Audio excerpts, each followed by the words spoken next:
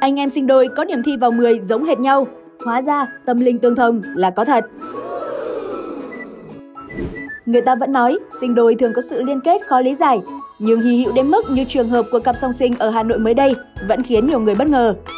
Chuyện là sau khi Sở Giáo dục Đào tạo Hà Nội công bố điểm thi lớp 10 năm 2024, Vũ Thế Hoàng Huy, học sinh lớp 9A4, trường Trung học cơ sở Hoàng Mai, tra cứu và nhận được kết quả điểm số ấn tượng như sau. Ngữ văn 8,75, ngoại ngữ 10, toán 10, tổng điểm xét tuyển vào lớp 10 công lập đạt 47,5, điểm môn chuyên là 8. Thế nhưng, điều hy hữu đã diễn ra khi cậu em song sinh của Huy là Vũ Thế Hoàng Tiến cũng tra cứu và đạt được các đầu điểm y hệt như vậy. Điểm số ấn tượng của cặp song sinh cùng học lớp 9A4 trường Trung học cơ sở Hoàng Mai này không chỉ khiến nhiều người trầm trồ vì hai anh em mang về 4 điểm 10 tuyệt đối mà còn cảm thấy thú vị, bất ngờ bởi số điểm giống hệt nhau. Nhiều người đã phải thốt lên, đến điểm số cũng song sinh.